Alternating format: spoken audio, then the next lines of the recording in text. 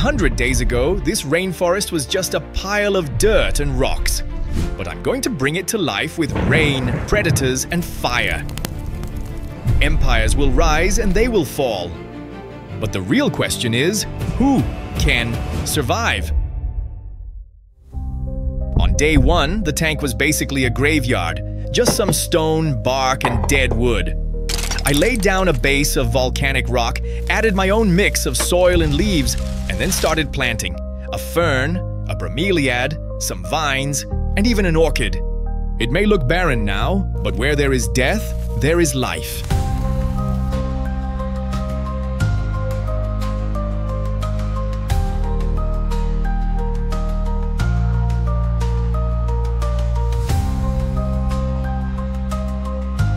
On day three, it was time to introduce the first animals. Meet the leafcutter ants. I added them in, and they got to work right away, creating highways across the moss and building a massive underground city. They didn't just eat the leaves, they used them to grow a special fungus that fed their entire colony. Inside their chambers, the queen was already laying her first batch of eggs, destined to become the next generation of workers. They were taking over. This was their forest now.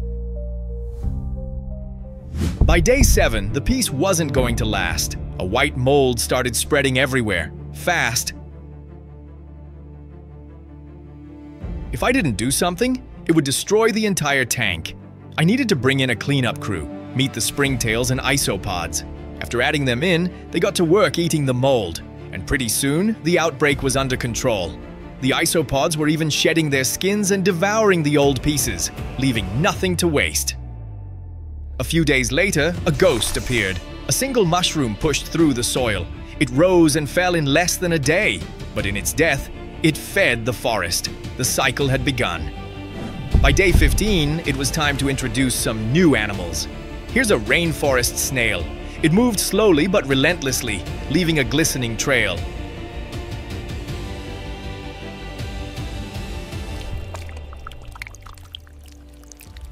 And meet the stick insect.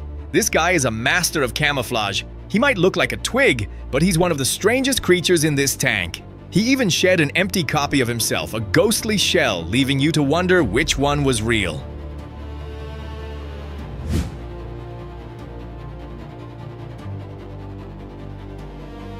But something else was watching. Something with eight eyes. Meet the jumping spider. She was a hunter, and she had her sights set on the ant highways. One wrong step and it's over. She built a tiny silk retreat, waiting for the perfect moment. By day 20, the tank was no longer a tank. It was a forest.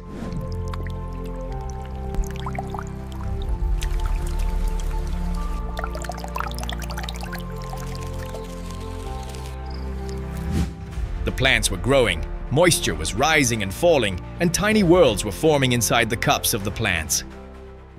The ants were not safe. The jumping spider waited for a worker to step out of line. She sprang, a blur of motion, but just as she was about to strike, an army of ant soldiers swarmed up the trunk and scared her off. She got away, but the ants had won this time, their numbers protecting them. On day 25, new life emerged in the bromeliad cups. Hundreds of tiny mosquito larvae were hatching, wriggling in the water like a cloud. They seemed harmless, but their numbers were exploding. Soon they would be everywhere. I needed to act fast. On day 30, I introduced a tiny, unseen predator, the phantom midge larva. These transparent hunters glide through the water, invisible until they strike. They began to thin out the mosquito population, restoring balance to the miniature pond.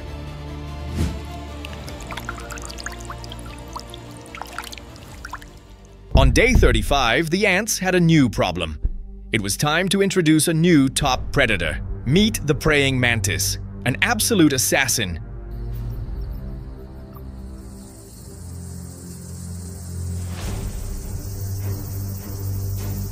It would wait for hours without moving, and then strike.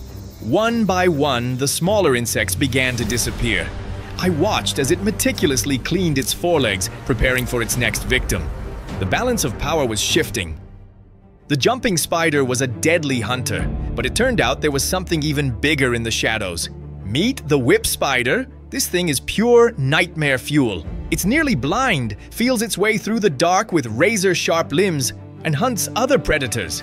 I saw it flatten itself against the bark, becoming almost invisible, a true master of the hunt. By day 50, the forest was getting crowded, but there was another monster hiding in the deep shade. Meet the centipede. It's fast, flexible, and almost as terrifying as my mother-in-law. After I added it in, it vanished under a log, waiting for night to fall. Its long, segmented body was built for navigating the dense undergrowth. I decided to add one more killer into the mix. Day 60, I introduced the assassin bug. This thing is silent, venomous, and doesn't even need to chase its prey. It just waits. One touch from its venomous mouth, and its victim is paralyzed.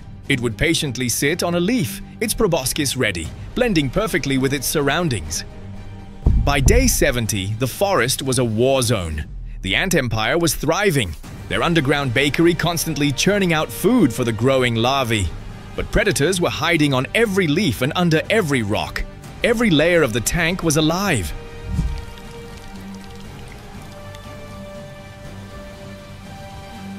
The centipede had already claimed a territory, leaving behind the husks of its prey. But soon the humidity began to fall and the canopy thinned. The air changed. The ants sensed it and began to seal the entrances to their nest, reinforcing their walls with wet soil.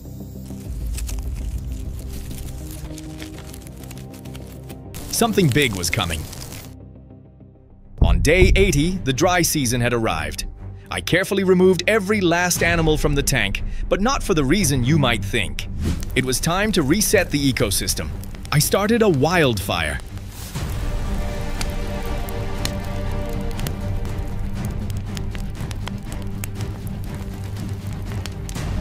The blaze spread quickly. Smoke filled the tank, blurring the lines of the glass. Everything began to burn until every last plant was gone. The tank was just a barren wasteland again.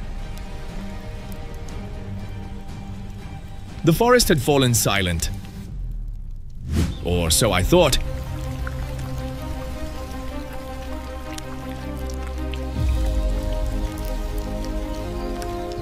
By day 90, from the ashes, new life began to sprout. A single fern unfurled through the blackened soil, a vibrant green against the charred landscape. The cycle was starting all over again. The moss returned, spreading like a green carpet, and the plants grew back stronger, their roots reaching deeper. The forest began to breathe again. On day 95, the ecosystem was rapidly recovering. I saw new springtails popping in the recovering soil, and the isopods were actively tunneling, aerating the earth. New, tiny fungi were already emerging, breaking down the burnt debris. Even a new batch of mosquito larvae had hatched in the refilled bromeliad cups. The forest was almost back to its full, dangerous glory.